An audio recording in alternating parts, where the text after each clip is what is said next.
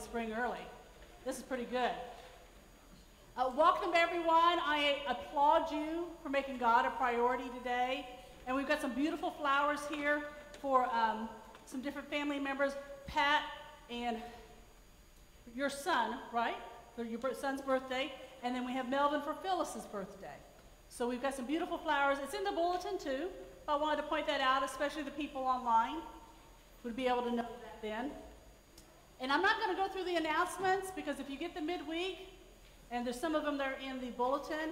You have all those announcements, and actually they play before the service starts too. Uh, especially for folks online, if you would like to have our midweek, which would have all our announcements, especially the Lent and Easter services coming up, so you can understand what's going on, call the church. Do it right now, 812-522-1137. Leave a message, we'll call you back, and you can give us the details so we can make sure we get it to you. I think it's important, especially if you attend with us regularly, that you are connected with us and you understand what's going on. And you know how to reach me, because I would like to be your pastor, not just someone that talks to you on Sundays. Okay? Um, new prayer concerns. You know, Randy Pearson's surgery went well last week. She's now at Covered Bridge. She would love cards, visits, anything. She would love those.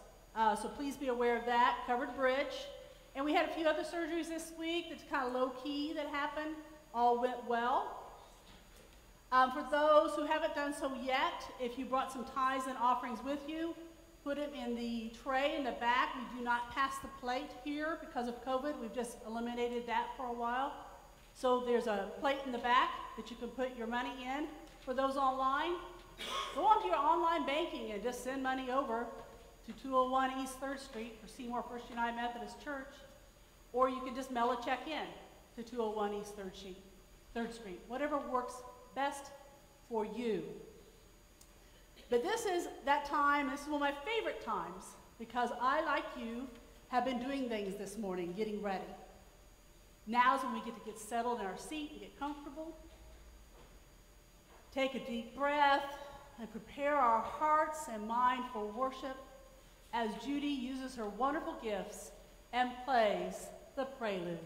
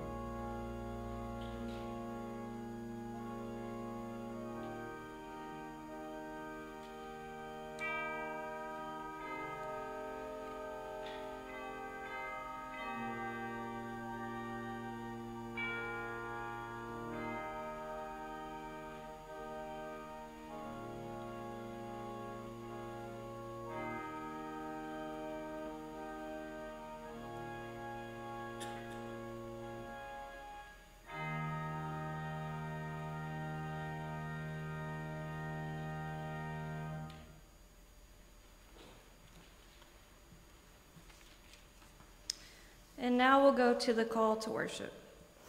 Be still before the Lord and wait patiently for God.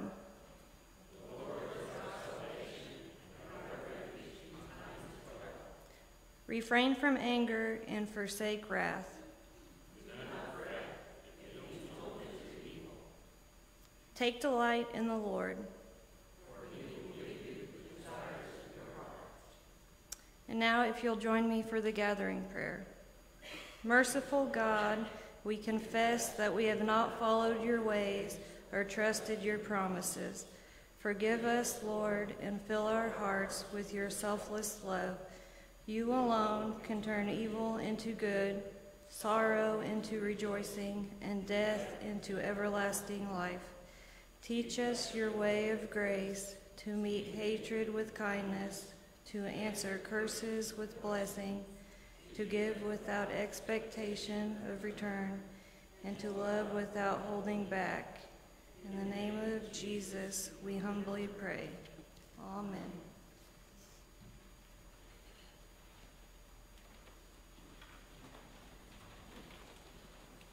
Praise is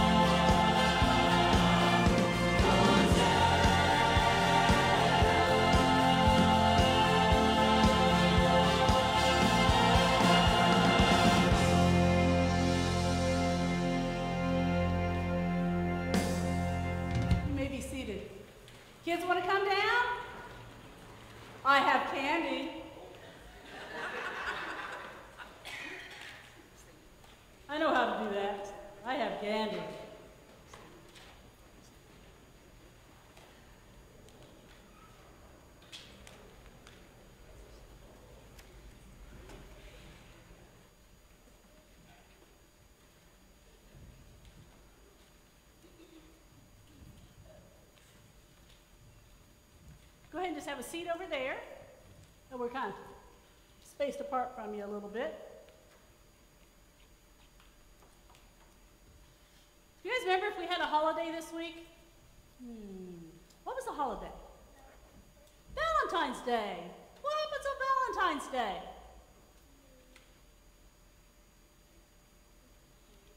You get candy? Do you pass out Valentine's to anybody else? Who'd you pass out Valentine's to, sir? To your friends? Did you do everybody in your class or just some of your friends? Everybody in your class? Good. I'm glad you did that because you know everyone needs a Valentine, don't they? Everyone needs to know that they are loved. Well, you know what? When I opened up my Bible, guess what I found? What do you think those are? They're Valentines. And my Valentines have scripture on them. One of them says, Love the Lord your God with all your heart, Luke 10 27. And the other one says, Trust the Lord with all your heart, and that's Proverbs 3 5. You know, these are words from the Bible. And scriptures are given to us just like we give Valentine's to everyone in our class a lot of times and other people in our family because we want to share that love. We want to tell other people about that love, don't we? Okay, well, this week I want you to think about that. Think about, you know, that you gave a Valentine to maybe even somebody who wasn't really that kind to you. Am I right? Sometimes we give a Valentine out to someone who's not real kind to us. What do you think that does to that person? Makes them happy, you will find, at least my experience, if someone is a grumpy person or unkind to others or they're a bully, there's something usually happening in their family. And they are used to people ignoring them and treating them bad, and when someone still treats them good anyway, it changes them a little bit. Kind of like the Grinch at Christmas. When he realized it wasn't all about toys and stuff, it was so much bigger. And Valentine's Day is so much bigger. It's more about love. And for me, I was so excited to see my Valentines because they were about God's love. So I've got Valentines here for each of you, okay? The crunch bars. Okay, you want to pass them down? And then I have a task for you to do. There are five crunch bars in here, and the rest are candy. I want you guys to give a Valentine or a piece of candy to every single person here and then go upstairs, do the ones upstairs. Can you do that? You can split it up if you like. Whatever you want to do. Get busy passing out Valentines.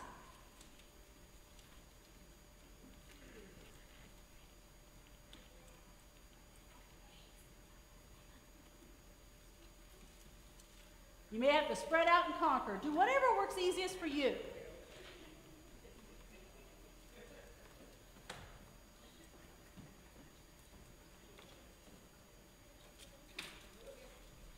Don't worry, there's enough for you guys up there too. It's okay. You're going to get one too. While they're passing that out, I'm going to do a quick prayer for these kids. Gracious Heavenly Father, we come to you in praise. We love children. Children in our midst because often they remind us what Jesus said that you need to be like children. Because when children see things so much more clearly than we do, we let the world cloud our vision. Thank you for children in our life, and we ask you to bless the children here and the children online at this time. In Jesus' name, we humbly pray. Amen. Don't worry, they're going to get to you.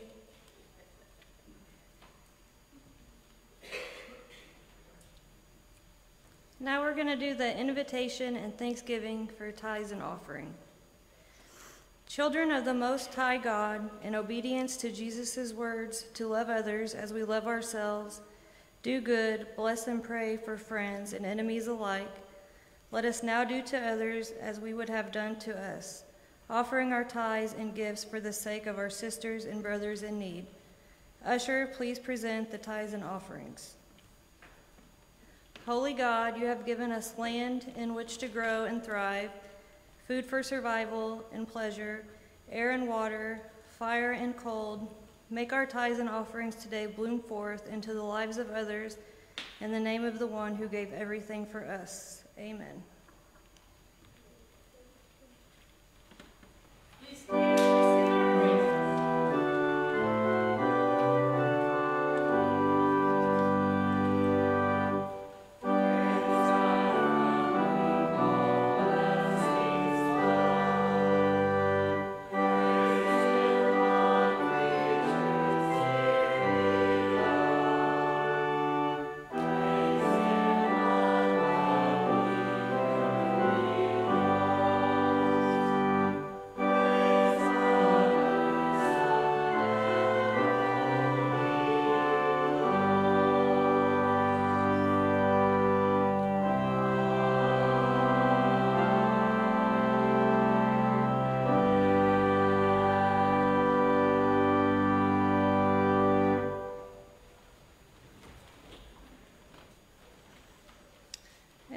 Do the prayer of illumination. Gracious God, by your word, you provide all we need for salvation, for wholeness, for abundant life. Now draw us close in your spirit so that we may, we may discover your will and live according to your purposes. Speak, Lord, we your servants are listening. Amen. And now the morning scripture comes from Luke chapter 6, verses 27 through 38. Love your enemies. But I say to you that listen, love your enemies, do good to those who hate you, bless those who curse you, pray for those who abuse you. If anyone strikes you on the cheek, offer the other also. And from anyone who takes away your coat, do not withhold even your shirt. Give to everyone who begs from you, and if anyone takes away your goods, do not ask for them again. Do to others as you would have them do to you. If you love those who love you, what credit is that to you? For even sinners love those who love them. If you do good to those who do good to you, what credit is, that to you? For even sinners do the same. If you lend to those from whom you hope to receive, what credit is that to you? Even sinners lend to sinners to receive as much again. But love your enemies, do good, and lend, expecting nothing in return. Your reward will be great, and your, you will be children of the Most High, for he is kind to the ungrateful and the wicked. Be merciful just as your Father is merciful. Do not judge, and you will not be judged. Do not condemn, and you will not be condemned. Forgive, and you will be forgiven. Give, and it will be given to you. A good measure, pressed down, shaken together, running over, will be put into your lap, for the measure you give will be the measure you get back.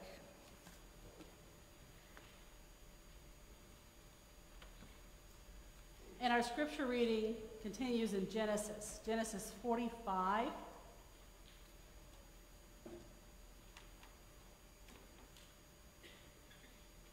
Genesis 45, 3 through 11, and then 15. Listen for the word of God. Joseph said to his brothers, I am Joseph. Is my father still alive? But his, uh, his brothers could not answer him, so dismayed were they at his presence. Then Joseph said to his brother, Brothers, come closer to me. And they came closer. He said, I am your brother Joseph, whom you sold into Egypt. And now do not be distressed or angry with yourselves because you sold me here. For God sent me before you to preserve life.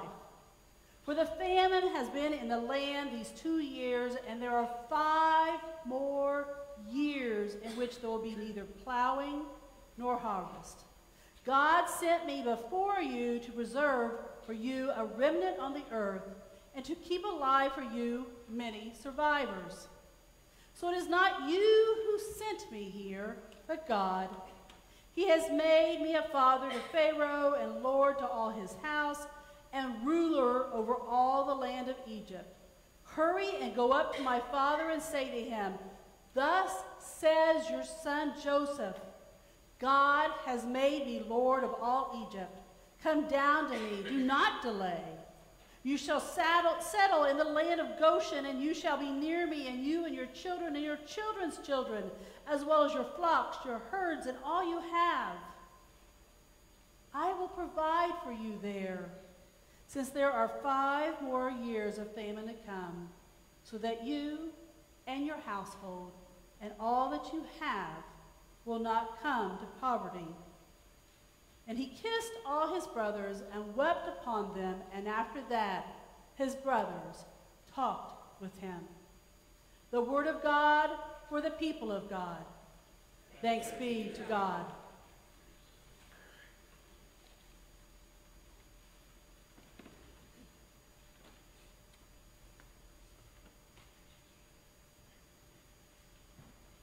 You know, I hear a saying, usually I hear it when someone's been in an accident or they've um, lost someone in their family.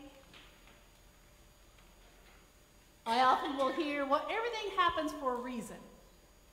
I got to be honest, I cringe a little when I hear that.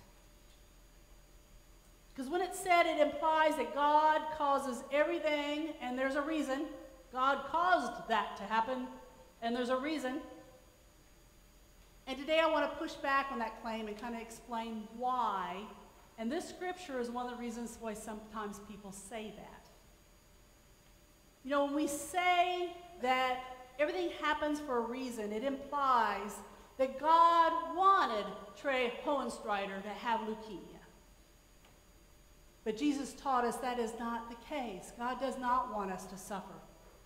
When we say everything happens for a reason, it implies that God wanted some of the people who died of COVID to die of COVID.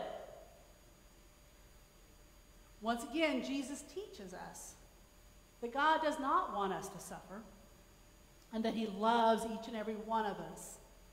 It conflicts with what Jesus has taught. However, the scripture has been used as a weapon as people, for, against people in the past. It was even used to explain why it was okay to go capture people in Africa and bring them to the United States as slaves. We were saving them. Everything happens for a reason. Well, through the story of Joseph in the Old Testament, today I want you to walk away understanding two things. God does not want bad things to happen to you. Jesus taught us that. Really want that to stick with you. And number two, but when bad things do happen, God can take anything bad and turn around and create, create something good out of it. Now, before we dig further, I want to kind of share some experience I've had with people who believe everything happens for a reason. And that way you can kind of see why it makes me cringe a little. I have someone I know, and I'm sure that you have too, um, I have a man that I know who is adamant God caused his divorce. He quit going to church. He used to go to church every Sunday. He quit going to church. He doesn't believe in God anymore because why would I want to believe in such an awful being that would do such awful things? Because you got to understand in his situation, his wife was in a terrible accident and uh, she healed physically but not mentally. And as a recall, re result, it was a strain to their relationship, and then eventually they did have a divorce. And he is positive God caused that. And as a result, he doesn't want to come to church anymore. He doesn't blame the person who caused the accident. I think I do believe they were drunk. He doesn't blame himself or his wife for the divorce. Why? Because, as he says, everything happens for a reason, God wanted this to happen. Hmm. But Jesus doesn't teach that. It's easy to do, though, isn't it? I don't know about you. I'm guilty of this. Sometimes I slide into this. I will know a person who is absolutely terrible. They are mean to people, they hoard their money, they won't share anything with anyone, and they try to make people miserable. And when they get cancer, there's a little piece of me that wants to say, Good, you finally gave them what they deserved. But that isn't the case. Good things happen to bad people, bad things happen to good people. That just isn't the case. But sometimes it feels good to say that, to be able to just blame it on God. But in that first scripture reading that Jacqueline read from Luke, Jesus is teaching us to love our enemies, be kind to those who are unkind to us. Even says, pray for those who abuse you. Like I said, God doesn't want bad things to happen to us. He never promised a problem free life. Nowhere in the Bible did God, Jesus, Paul, anyone say, you will have a problem free life when you become a Christian. Actually, whenever I baptize adults, I will often say, I need you to understand the next three months will probably be very hard on you. You need to understand, or if they're preparing to get baptized, or if they're preparing to go to walk to Emmaus, these will be your toughest times because Satan doesn't want this to happen will be attacking harder than ever. You need to understand this. Be prepared. God never promised a problem free life, but God promises to be with us throughout that life. And repeatedly, we see in the Bible when God takes something bad and turns around and creates something good. Now, for those of us who are not real familiar with Genesis, let me kind of explain a little bit about this for you, okay? The book of Genesis is full of sibling rivalry. Think about it. Cain and Abel, sibling rivalry. You know, one brother kills another. How about an older brother mocking the younger brother, Ishmael and Isaac? That's also in Genesis.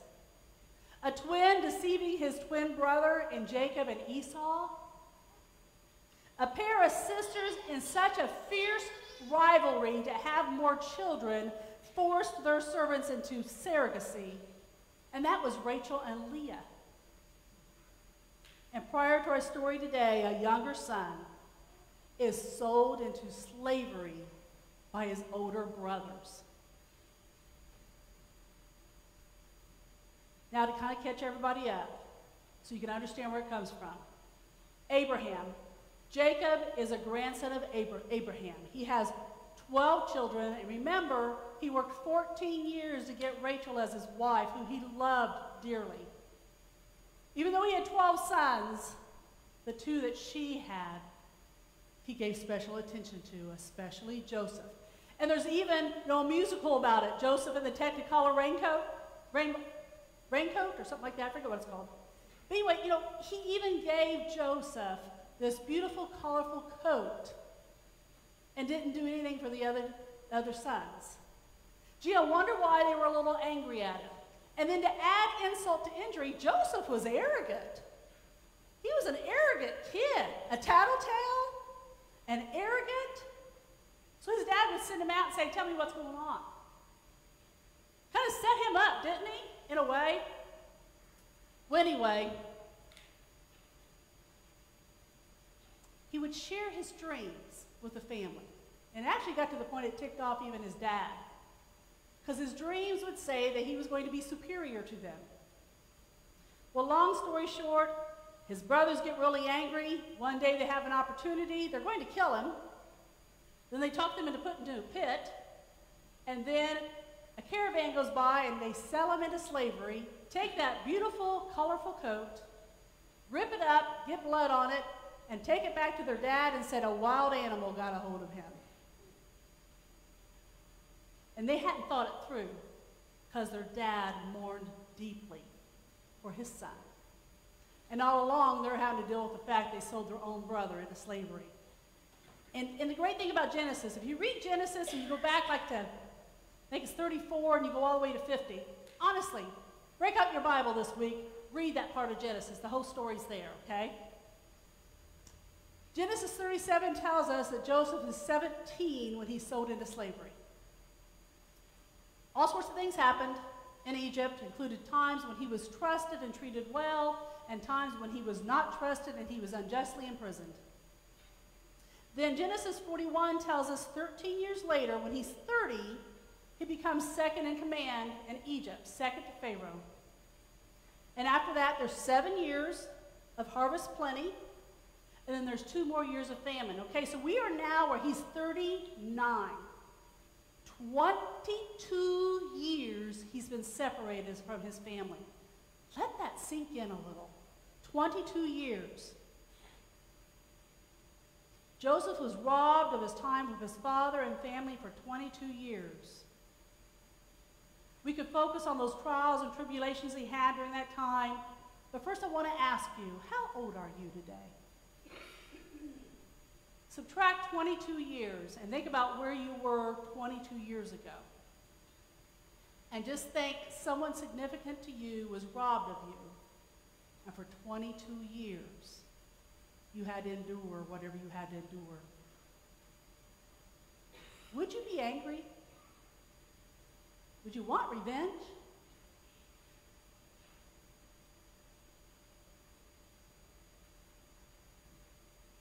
How about his brothers? Not all the brothers wanted him harmed. Remember, Reuben was trying to do something to save him. And when it was done and he was already sold into slavery, it was too late.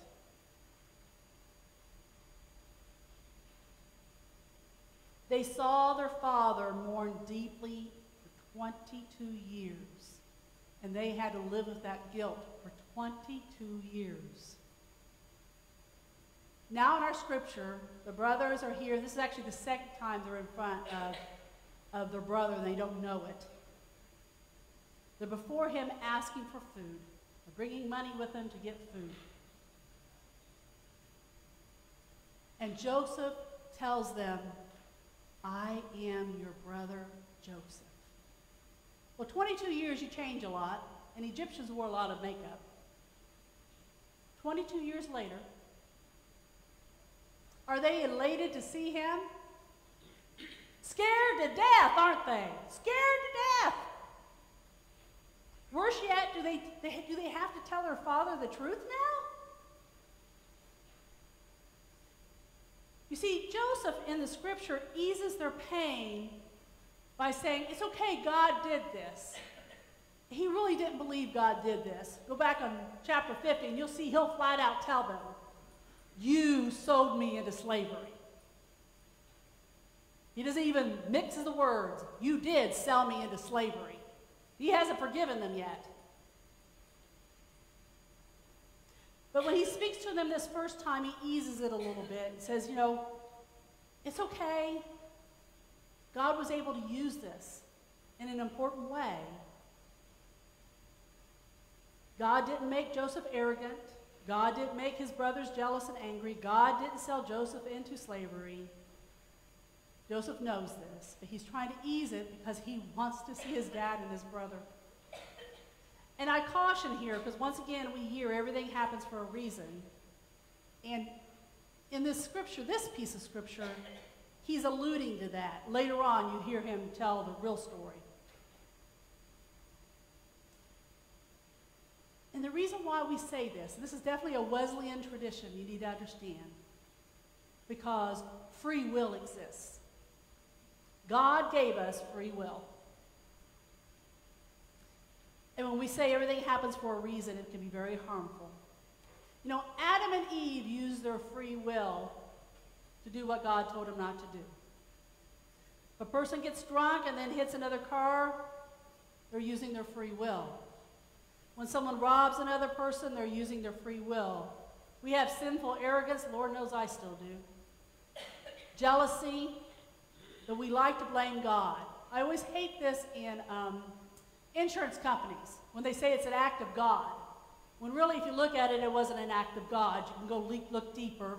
Someone builds houses on the side of a mountain and they remove all the vegetation, and five years later they have a mudslide. That's not an act of God. You removed all the vegetation on the side of a mountain. When it's going to rain a lot, you will have a mudslide. But good things happen to bad people. Bad things happen to good people. But Joseph was arrogant. His brothers were jealous. Instead of everything happens for a reason, I suggest that the more accurate way to put it is God can take bad and create good from it. And you know what the best news is? Here's the good news. We serve a Lord that never stops loving us, ever. No matter what we do, what we do to someone else, no matter what, no matter what happens to us, God never stops loving us. We serve a Lord that does not want bad things to happen. Jesus describes this again and again and again in the Gospels. You see, when we face difficult circumstances, God can use that. God can use it to change us. God can use it to change the circumstances of another group of people. God can use it to change an entire nation's situation. And in this case, he was able to feed his chosen people because they were going to starve to death in Canaan. Once again, read Genesis 37 through 50 this week. You'll get the whole story. You'll get the rest of the story. But the good news is, no matter what situation we're in, God's love never ends. You know, this rings so strongly with me because in 2012, my father had a heart attack. November 2012, right after Thanksgiving. He had to have a quadruple bypass, and it did not go well. He had to have two more major surgeries in a three month period of time. And normally, when you have a quadruple bypass, you're in ICU a couple of days. They send you to a room, they start having your um, rehab for your heart, and you go home. My dad spent three months in ICU. And during that time, there was times we wondered if he was going to survive. There really was a period of time we started talking about the funeral. We didn't know if he was going to make it. But do you know what my sisters and I found, especially me during that time? I kept hearing the song, I Will Praise You in This Storm. Because there was a storm going on in our lives, but God was still there. God never promised we were going to live in a rose garden. We weren't in a rose garden. We were sitting and living in an ICU. Literally, I had a computer there. I worked, I did the U.S. Navy account from ICU in Columbus. Because we didn't know how long he was going to be there. But God was there all the time. And we don't have time today, but man, I can tell you all the good that God created out of that time. There's another man in hope who had hope during that time because we were in that hospital. There were other people's lives that were changed because we were in a place we didn't want to be, but God could take the, this bad situation and do something good with it. It happens, guys. It happens all the time. And the reason I want to share that is I think it's important for us to understand our good news that no matter what situation we're in, no matter what bad situation we may be in, God's love never ends. Never ends. So remember two things I want you to remember today. God does not want bad things to happen to us. Throughout the Gospels, Jesus shares that. And number two, God can take anything bad and create something good. You know, God is the creator, right? He can take something bad and create something good. And there isn't a reason for everything. Please try not to say that because you have no idea how many people are going home and shutting their door in tears because what they're hearing is God did this to you and you deserved it. They go home with a person with cancer thinking, God did this to me. What did I do to deserve it? And then sometimes they walk away from their faith. Or they hear someone say that and their family member died of COVID and they think God is a tyrant for killing his people. Or like my friend who is convinced God caused his divorce and God can go to hell for it. That's how he feels. And there's no changing his mind now. Well, I'm still working on it. Anyway, God does not want bad things to happen to us. Throughout the Gospels, Jesus teaches us that, and God can take anything bad and create good from it. That's our good news today.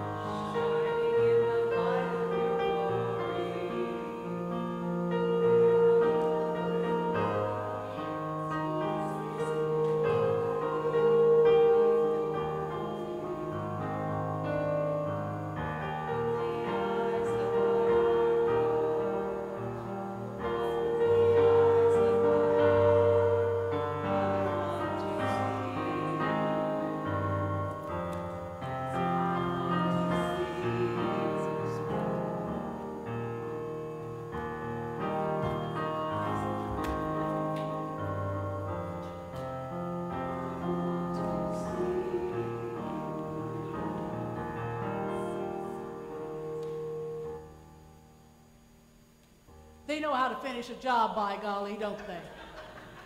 Good job, kids. During this time of silence, this is that time when you can just take some time, it's like 30 seconds, to be alone with the Lord. Discuss what's on your mind, what spoke to you today. Maybe it was in the liturgy in the call to worship. Maybe it was one of the prayers. Maybe it was one of the songs. Whatever it may be, the Holy Spirit moves in mysterious ways. Take some time now and just speak with the Lord a little bit before we move in to the prayer.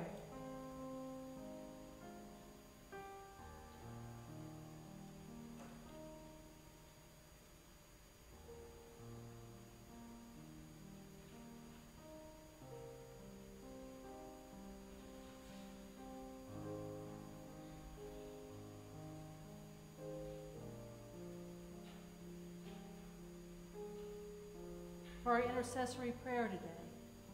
When I say, God, in your mercy, I invite you to respond. Hear our prayer. Holy God, your cross stands before us as a light that shows us our failures and salvation through your Son. We thank you for forgiving us, for coming among us to heal our pain and resentments. We yearn for your word and praise you for your love. God, in your mercy, hear our prayer. A giver of prayer that groans within us, teach us to pray for our enemies. Their names are many, and right now we whisper some of them now before you in our hearts.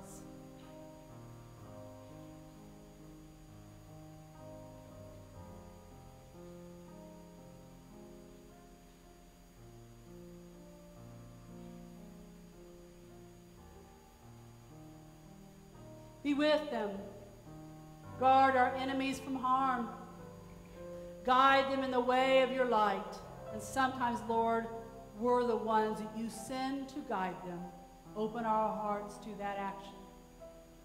Save us from self righteousness and help us to begin our lives anew. God, in your mercy, hear our prayer. Heal the nations, mighty God. Rain peace on all the people, especially those in Russia and the Ukraine. Give hope to the hopeless and love to the lonely. Surprise the leaders of all nations with your joy. For the people who live with the threat of war, who live by those who oppress them instead of caring for them, who cry out for rescue, who cry out for reconciliation and plenty on their behalf. God, in your mercy, hear our prayer. We beg comfort for the sick, O God. Make whole the broken, make wise the foolish, humble the powerful, make glad the hearts of those who tend our loved ones. And for any who are in pain, give them release, healing, but also give them rest, Lord. Speak love to those on our prayer list or who have asked for prayer, but also to those who cry out silently. God, in your mercy, hear our prayer. Savior of the world, we give thanks for the biblical witness of Joseph and his brothers and stories rich enough to feed us because they were not perfect people either. Make us truly grateful for prophets and the dreamers amongst us. God, in your mercy, hear our prayer. Trusting in the mercy of your never failing wisdom, we commend into your hands all for whom we pray. And now, with the confidence of the children of God, let us pray the prayer that Christ taught us.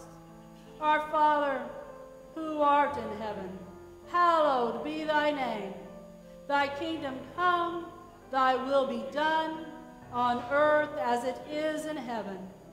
Give us this day our daily bread, and forgive us our trespasses, as we forgive those who trespass against us.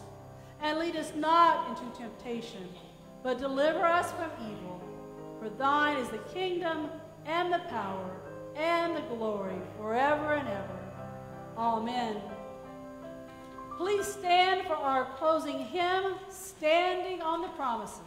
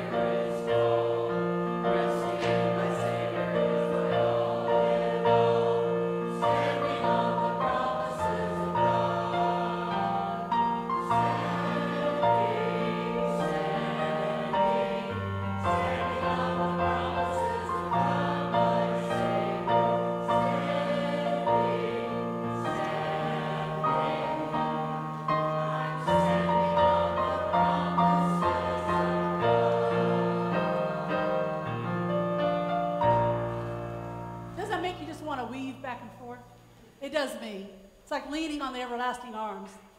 When I die, if one of those songs are sung, everybody needs to weave back and forth, okay? Just to let you know, just giving you a pre-warning, you know, I like to plan things out. Okay, I invite you to stand up because you're already standing up. Open your eyes, arms wide for the blessing.